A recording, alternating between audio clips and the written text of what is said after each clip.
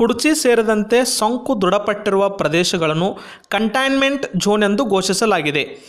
ಈ ಪ್ರದೇಶದ ಮನೆ ಮನೆಗೆ ತೆರಳಿ ಜನರ ಆರೋಗ್ಯ ಮಾಹಿತಿ ಸಂಗ್ರಹಿಸುವ ಆಶಾ ಕಾರ್ಯಕರ್ತೆಯರ ಮೇಲೆ ಹಲ್ಲೆ ಮಾಡುವವರ ಮೇಲೆ ಪ್ರಕರಣ ದಾಖಲಿಸಬೇಕೆಂದು ಸಚಿವ ಜಗದೀಶ್ ಶೆಟ್ಟರ್ ಪೊಲೀಸ್ ಅಧಿಕಾರಿಗಳಿಗೆ ಕಟ್ಟುನಿಟ್ಟಿನ ಸೂಚನೆ ನೀಡಿದರು. ಮಂಗಳವಾರ ಲೋಕೋಪಯೋಗಿ ಇಲಾಖೆಯ ಭವನದಲ್ಲಿ ಚಿಕ್ಕೋಡಿ ಲೋಕಸಭಾ ಕ್ಷೇತ್ರದ ಜನಪ್ರತಿನಿಧಿಗಳ ಹಾಗೂ ಹಿರಿಯ ಅಧಿಕಾರಿಗಳ ಸಭೆಯ ಅಧ್ಯಕ್ಷತೆ ವಹಿಸಿ ಮಾತನಾಡಿದರು.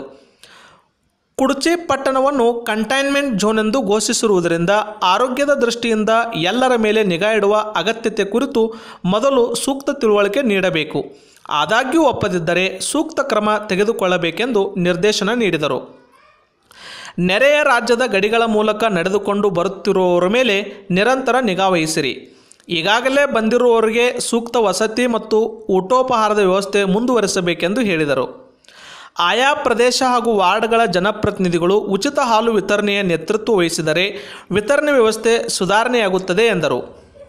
ಅಂದರೆ ಮಾರ್ಚ್ ನಾಲ್ಕು, ಏಪ್ರಿಲ್ ನಾಲ್ಕರ ನಂತರ ಈ ರೀತಿ ಪಾಸಿಟಿವ್ ಕೇಸ್ಗಳು ಬಂದಿದ್ದು ನಾವು ನೋಡ್ತಾ ಇದ್ದೇವೆ.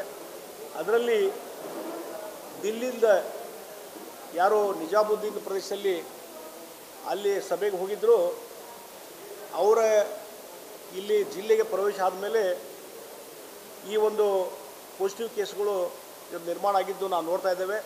ಅದಕ್ಕಿಂತ ಮುಂಚೆ ಏಪ್ರಿಲು ನಾಲ್ಕರ ಮುಂಚೆ ಬಹುಶಃ ಬೆಳಗಾವಿ ಜಿಲ್ಲೆ ಯಾವುದೇ ಒಂದು ಪಾಸಿಟಿವ್ ಕೇಸ್ ಇರಲಿಲ್ಲ. ಆದರೆ ಇತ್ತೀಚಿನ ಈ ಬೆಳವಣಿಗೆ ಭಾಳ ಒಂದು ಗಂಭೀರವಾಗಿ ತೆಗೆದುಕೊಂಡಿದೆ. ನಮ್ಮ ಅಡ್ಮಿನಿಸ್ಟ್ರೇಷನು ಸರ್ಕಾರನೂ ಗಂಭೀರವಾಗಿ ತೆಗೆದುಕೊಂಡಿದೆ. ಅದೇ ರೀತಿ ರಾಜ್ಯದಲ್ಲಿ ಸಹಿತ ಬೇರೆ ಬೇರೆ ಪ್ರದೇಶಗಳಲ್ಲಿ ಈ ರೀತಿ ಬಂದಂಥ ವ್ಯಕ್ತಿಗಳಿಂದ ಏನು ಅಬ್ಸರ್ವೇಷನ್ ಆಗಿದೆ ಶ್ಯಾಂಪಲ್ಸ್ ಬರ್ತಾ ಇದ್ದಾವೆ. ಅವೆಲ್ಲವನ್ನೂ ಸಹಿತ ಭಾಳ ಒಂದು ಉಪಕ್ರಮ ಕೈಗೊಳ್ಳುವಂಥ ಕೆಲಸ ರಾಜ್ಯದಿಂದ ಮತ್ತು ಪ್ರತಿಯೊಂದು ಜಿಲ್ಲಾ ಆಡಳಿತದಲ್ಲಿ ನಡೀತಾ ಇದೆ. ನಮ್ಮ ಬೆಳಗಾವಿ ಜಿಲ್ಲೆಯಲ್ಲಿ ಇದನ್ನು ಭಾಳ ಗಂಭೀರವಾಗಿ ತೆಗೆದುಕೊಂಡಿದ್ದೇವೆ. ಮತ್ತು ಭಾಳ ಮುಖ್ಯವಾಗಿ ನಾನು ಹೇಳುವಂಥದ್ದು ಈ ಕರೋನಾ, ಇವತ್ತು ಕರೋನಾ ಸೋಂಕು ತಗಲಿದಂಥ ವ್ಯಕ್ತಿಗಳು ಎಲ್ಲ ಧರ್ಮದಲ್ಲಿದ್ದಾರೆ. ಅದಕ್ಕೆ ಜಾತಿ, ಧರ್ಮ ಮತ್ತೊಂದು ಏನಲ್ಲ, ಎಲ್ಲ ಧರ್ಮದಲ್ಲಿ, ಎಲ್ಲ ಜಾತಿಗಳಲ್ಲಿ ಎಲ್ಲ ವ್ಯಕ್ತಿಗಳು ಇದಿದ್ದಾವೆ ಆದರೆ ಒಂದು ನಾನು ಹೇಳುವಂಥದ್ದು ಈ ರೀತಿ ದೆಹಲಿಯಿಂದ ಬಂದಂಥ ವ್ಯಕ್ತಿಗಳು ಏನಿದ್ದಾರೆ, ಅದರಲ್ಲಿ ಈಗ ಕುರ್ಚಿ ಭಾಗದಲ್ಲಿ ಇವತ್ತು ನಾಲ್ಕು ಜನ ಪಾಸಿಟಿವ್ ಅನ್ನುವಂಥ ರಿಪೋರ್ಟ್ ಬಂದಂಥ ಸಂದರ್ಭದಲ್ಲಿ ನಾನು ಒಂದು ಆ ಆ ಒಂದು ಸಮಾಜದ ವ್ಯಕ್ತಿಗಳಲ್ಲಿ ಮತ್ತು ದಿಲ್ಲಿಯಿಂದ ಬಂದಂಥ ವ್ಯಕ್ತಿಗಳಲ್ಲಿ ನಾನು ಒಂದೇ ಒಂದು ರಿಕ್ವೆಸ್ಟ್ ಮಾಡುವಂಥದ್ದು, ಇವತ್ತು ಯಾರು ಅಲ್ಲಿ ಹೋಗಿ ಬಂದಿದ್ದೀರಿ, ಎಂತ ಅನ್ನುವಂಥದ್ದು ನೀವೇ ವಾಲಂಟ್ರಿಯಾಗಿ ಜಿಲ್ಲಾಡಳಿತಕ್ಕೆ ಮಾಹಿತಿ ಕೊಡಿ. ಡಿ ಎಚ್ ಅವ್ರಿಗೆ ಮಾಹಿತಿ ಕೊಡಿ, ಡಿ ಸಿ ಅವ್ರಿಗೆ ಮಾಹಿತಿ ಕೊಡಿ. ಇಲ್ಲಿದ್ದಂಥ ಅಸಿಸ್ಟೆಂಟ್ ಕಮಿಷನರು ಇಲ್ಲಿದ್ದಂಥ ಅಧಿಕಾರಿಗಳು, ಅವ್ರಿಗೆ ನೀವು ಮಾಹಿತಿ ಕೊಡುವ ಮುಖಾಂತರ ಈ ಒಂದು ಏನೊಂದು ಹೋರಾಟ ಇದೆ, ಕರೋನಾ ವಿರುದ್ಧ ಹೋರಾಟ ಇದೆ. ಇದರಲ್ಲಿ ನೀವು ಪಾರ್ಟಿಸಿಪೇಟ್ ಮಾಡಬೇಕು. ಮತ್ತು ಅಷ್ಟೇ ಅಲ್ಲ, ಇದು ನಿಮ್ಮ ಆರೋಗ್ಯದ ಪ್ರಶ್ನೆ ಇದೆ ನಿಮ್ಮ ಕುಟುಂಬದ ಸದಸ್ಯರ ಆರೋಗ್ಯದ ಪ್ರಶ್ನೆ ಇದೆ. ಹೀಗಾಗಿ ಇದನ್ನೇನೋ ಮುಚ್ಚಿಡುವಂಥದ್ದು ಮತ್ತೊಂದು ಮಾಡಿದರೆ ಅದರಿಂದ ನಿಮ್ಮ ಕುಟುಂಬದವ್ರಿಗೂ ತೊಂದರೆ ಆಗ್ತದೆ. ಅಷ್ಟೇ ಅಲ್ಲ, ಇಡೀ ಸಮಾಜಕ್ಕೆ ನಾಡಿಗೆ ತೊಂದರೆ ಆಗ್ತದೆ. ಆ ಹಿನ್ನೆಲೆ ಇಟ್ಟುಕೊಂಡು ಈಗ ಏನಾಗಿದೆ, ಪೊಲೀಸರು ಅವರೇ ಟ್ರೇಸ್ ಔಟ್ ಮಾಡುವಂಥದ್ದು ಮಾಹಿತಿ ತೆಗೆದುಕೊಳ್ಳುವಂಥದ್ದು ಅದರ ಮುಖಾಂತರ ಇವೆಲ್ಲ ಟ್ರೇಸ್ ಔಟ್ ಆಗ್ತದೆ. ಅದು ಬಿಟ್ಟು ಯಾರ್ಯಾರು ಹೊರಗಡೆಯಿಂದ ದಿಲ್ಲಿಯಿಂದ ಬಂದಂಥವ್ರು ಅಥವಾ ಬೇರೆ ರಾಜ್ಯದಿಂದ ಬಂದಂಥವ್ರು, ನೀವೇ ವಾಲಂಟ್ರಿಯಾಗಿ ಇಲ್ಲ ನಮ್ಮ ನಮ್ಮನ್ನು ಟೆಸ್ಟ್ ಮಾಡಿಬಿಡ್ರಿ ನಮ್ಮದು ಸ್ಯಾಂಪಲ್ಸ್ ನೋಡಿಬಿಡಿ. ಸುಮ್ಮನೆ ಇದು ವಿನಾಕಾರಣ, ಯಾರಿಗೂ ತೊಂದರೆ ಆಗೋದು ಬೇಡ ಅನ್ನುವಂಥ ಒಂದು ಒಂದು ಸೌಹಾರ್ದ ರೀತಿಯಿಂದ ಬಂದುಬಿಟ್ರೆ ಭಾಳ ಚಲೋ ಆಗ್ತದೆ. ಇಲ್ದಿದ್ರೆ ಸರ್ಕಾರ ಕಾನೂನು ಕ್ರಮವನ್ನು ಕೈಗೊಳ್ಬೇಕಾಗ್ತದೆ. ಆ ಹಿನ್ನೆಲೆಯಲ್ಲಿ ನಾನು ರಿಕ್ವೆಸ್ಟ್ ಮಾಡ್ತಿದ್ದೇನೆ ಎಲ್ಲ ಸ, ವ್ಯಕ್ತಿಗಳಿಗೆ ತಕ್ಷಣವೇ ಬಂದು ಇದಕ್ಕೊಂದು ಡಿಸ್ಕ್ಲೋಸ್ ಮಾಡಬೇಕು ಅನ್ನುವಂಥದ್ದು. ಮತ್ತು ಇದು ಬರದೇ ಇದ್ದರೆ ಸರ್ಕಾರ ಯಾವ ರೀತಿ ಕ್ರಮ ಕೈಗೊಳ್ಬೇಕು ಅನ್ನೋದು, ಟ್ರೆಸ್ ಮಾಡಿಸ್ ಟ್ರೆಸ್ ಹೌಸ್ ಮಾಡಬೇಕು ಅನ್ನೋಂಥದ್ದು, ಆ ಕೆಲಸವನ್ನು ನಾವು ಮಾಡ್ತಾ ಇದ್ದೇವೆ ಅನ್ನುವಂಥ ಮಾತನ್ನು ಈ ಸಂದರ್ಭದಲ್ಲಿ ಹೇಳಿ ಬಯಸಿದ್ದೇನೆ ಮತ್ತು ಇದರ ಜೊತೆಗೆ ಇವತ್ತು ಯಾರಾದರೂ ಮಾಹಿತಿ ತಗೊಳಕ್ಕೆ ಬಂದಾಗ, ಈಗ ನಮ್ಮ ಆಶಾ ಕಾರ್ಯಕರ್ತರು, ಅವರು ಆರೋಗ್ಯದ ಸಲುವಾಗಿ ಮಾಹಿತಿ ಕೇಳ್ತಾರೆ, ಮನೆ ಮನೆಗೆ ಹೋಗ್ತಾರೆ, ಸರ್ವೆ ಮಾಡ್ತಾರೆ. ಮತ್ತು ಅದರಲ್ಲಿ ಎಲ್ಲಿ ಈಗ ಕ್ವಾರಂಟೈನ್ದಲ್ಲಿ ಇರುವಂತಕ್ಕಂಥವರು, ಈ ರೀತಿ ಸಸ್ಪಿಷಿಯಸ್ಸು ಕೇಸ್ ಬಂದಂಥ ಸಂದರ್ಭದಲ್ಲಿ ಆ ಏರಿಯಾದಲ್ಲಿ ಹೋದಾಗ ಅವ್ರಿಗೆ ಸಹಕಾರ ಕೊಡುವಂಥ ಕೆಲಸ ಪ್ರತಿಯೊಬ್ಬರು ಮಾಡಬೇಕಾಗ್ತದೆ. ಪ್ರತಿಯೊಬ್ಬ ನಾಗರಿಕರು ಮಾಡಬೇಕು. ಈ ನನಗೆ ಇಲ್ಲಿ ಬಂದಾಗ, ಚರ್ಚೆಯಲ್ಲಿ ಬಂದಾಗ ಒಂದು ಮಾಹಿತಿ ಬಂತು. ಇವತ್ತು ಬೆಳಿಗ್ಗೆ ಕುರ್ಚಿ ಭಾಗದಲ್ಲಿ ಇವತ್ತು ಆಶಾ ಕಾರ್ಯಕರ್ತರು ಹೋದಾಗ ನಾವು ಮಾಹಿತಿ ಕೊಡೋದಿಲ್ಲ. ನೀವು ಯಾರು ಮಾಹಿತಿ ಕೊಡ, ತೆಗೆದುಕೊಳ್ಳುವಂಥವ್ರು ಅಂಥೇಳಿ ಅವ್ರಿಗೆ ಅವ್ರಿಗೆ ಅಟ್ಯಾಕ್ ಮಾಡುವಂಥದ್ದು, ಅವ್ರ ಮೇಲೆ ಒಂದು ರೀತಿಯಾದಂಥ ತೊಂದರೆ ಕೊಡುವಂಥದ್ದು, ಇದೆಲ್ಲ ಇವತ್ತು ಮಾಹಿತಿ ಬಂದದ್ದು. ಅದಕ್ಕಾಗಿ ಆ ರೀತಿಯಾದಂಥದ್ದು ಇವತ್ತು ಆಶಾ ಕಾರ್ಯಕರ್ತರು, ಆರೋಗ್ಯ ಕಾರ್ಯಕರ್ತರು ಅಥವಾ ಅಂಗನವಾಡಿ ಕಾರ್ಯಕರ್ತರು ಯಾರೇ ಬಂದರು ಅವರು ಸಮಾಜದ ಹಿತದೃಷ್ಟಿಯಿಂದ ಸರ್ಕಾರ ಡೈರೆಕ್ಷನ್ ಕೊಟ್ಟ ಪ್ರಕಾರ ಅವ್ರು ಬಂದಿರ್ತಾರೆ. ಅವರಿಗೆ ಕೇಳುವಂಥ ಮಾಹಿತಿಯನ್ನು ನೀವು ಕೊಟ್ಟರೆ ಅದು ಮುಗಿದು ಹೋಗ್ತದೆ. ಅದು ಬಿಟ್ಟು ಅವರಿಗೆ ತೊಂದರೆ ಕೊಡುವಂಥದ್ದು ಮಾಡಿದರೆ ಮತ್ತೆ ಕಾನೂನು ಕ್ರಮ ಕೈಗೊಳ್ಬೇಕಾಗ್ತದೆ. ಅದಕ್ಕಾಗಿ ನಾನು ಹೇಳ್ತೀನಿ, ಇವತ್ತು ಯಾರೇ ನಮ್ಮ ಸರ್ಕಾರದ ಅಧಿಕಾರಿಗಳಾಗಲಿ, ಆಶಾ ಕಾರ್ಯಕರ್ತರು ಯಾರೇ ಬಂದರು ಅವ್ರಿಗೆ ತೊಂದರೆ ಕೊಡಲಾರ್ದೇ ಅವರಿಗೆಲ್ಲ ಸರಿಯಾದಂಥ ಮಾಹಿತಿ ಕೊಡುವಂಥ ಕೆಲಸ ಪ್ರತಿಯೊಬ್ಬ ನಾಗರಿಕರು ಮಾಡಬೇಕು. ಯಾವುದೇ ಧರ್ಮ ಇರ್ಬೋದು, ಯಾವುದೇ ಜಾತಿ ಇರ್ಬೋದು, ಅವರೆಲ್ಲರೂ ಸಹಿತ ಇದಕ್ಕೆ ಸಹಕಾರ ಕೊಡಬೇಕು ಅನ್ನುವಂಥದ್ದು.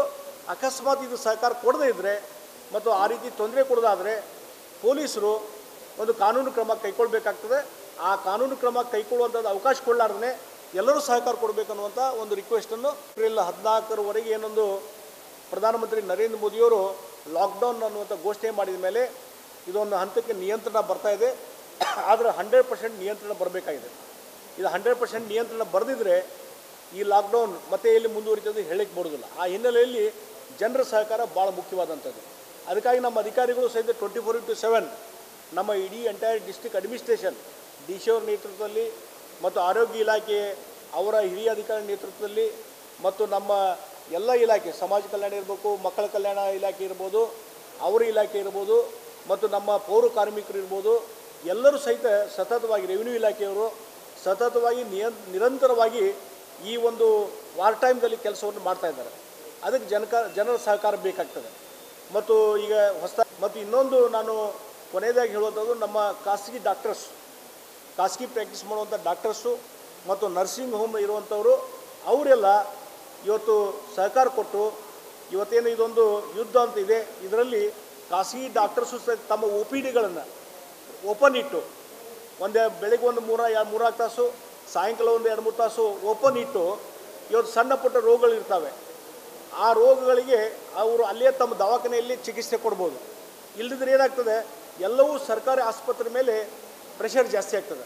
ಆ ಹಿನ್ನೆಲೆಯಲ್ಲಿ ನಮ್ಮ ಖಾಸಗಿ ಡಾಕ್ಟರ್ಸ್ ಸಹಿತಗೆ ತಮ್ಮ ಒ ಪಿ ಡಿಯನ್ನು ಓಪನ್ ಇಟ್ಟು, ಆ ಸಂಬಂಧಪಟ್ಟಂಥ ಪೇಷಂಟ್ಗಳಿಗೆ ಟ್ರೀಟ್ಮೆಂಟ್ ಕೊಡುವಂಥ ಕೆಲಸ ಆಗಬೇಕು ಅನ್ನುವಂಥದ್ದು ನಾನು ರಿಕ್ವೆಸ್ಟ್ ಮಾಡ್ತಾ ಇದ್ದೇನೆ. ಎಲೆಕ್ಷನ್ ಬರ್ತಾ ಇದೆ.